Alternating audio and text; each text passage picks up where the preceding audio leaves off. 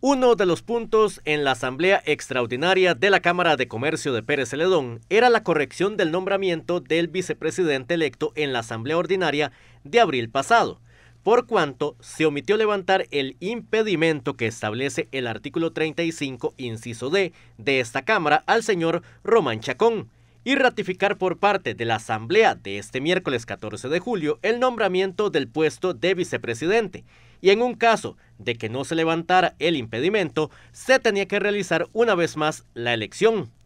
Al final, Chacón declinó su participación. Estas fueron las razones que expuso en las cámaras de TV Sur Pérez Celedón. Que me digamos, eh, para yo llegar a la vicepresidencia fue por un tema que don Finado Hugo me alentó a participar dentro de la Cámara de Comercio porque teníamos ideales en común y es el ideal del desarrollo del Cantón de Pérez de León. Fui electo unánimemente en esa asamblea. Este, lo que pasa después del fallecimiento de don Hugo es que se toma todo un, trabajo articulado para eh, la institución mía.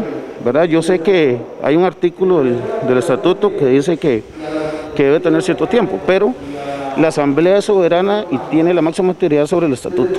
¿verdad? Entonces, yo respeto mucho lo, acontecido y, prefiero no estar donde no quieren donde no quieren que esté. Ahí haré lo que tenga que hacer por el sector agropecuario. El experimentado dirigente también dio su opinión sobre la asamblea del miércoles 14 de julio. Repito, respeto la asamblea de hoy, ¿verdad? que no fue la que me nombró a mí en abril, y además este, hoy no era para nombramientos, hoy era para ver el tema financiero de la Cámara de Comercio, que están serios problemas financieros. Eh, y además se contempla el tema de que, de que eh, electo el puesto de ese presidente tenía que asumir la presidencia. Y yo sé que generó molestia en los compañeros de directiva que yo tuviera que pasar a ser el presidente. Entonces, respeto muchísimo, yo no, yo no me quiero complicar la vida, ya, ya ya bastante así voy para adelante. La conformación de una Cámara de Agricultura es una de las ideas que está barajando. Me, parece que Pérez León aunque algunos políticos digan que no es eh, un cantón agrícola, aquí podemos demostrar que el comercio se beneficia de la agricultura, del sector agropecuario, y me parece que podemos articular muchísimo con todos los actores del sector agropecuario, incluso incluyendo la parte turística, turismo rural, y por ahí vamos a plantear algunas acciones que puedan mejorar el desarrollo del cantón de Presión, no el desarrollo, eh, no el desarrollo este, personal.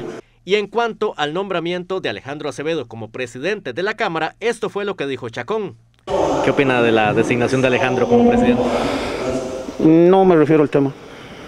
Este fue uno de los aspectos polémicos dentro de la asamblea de esta organización generaleña.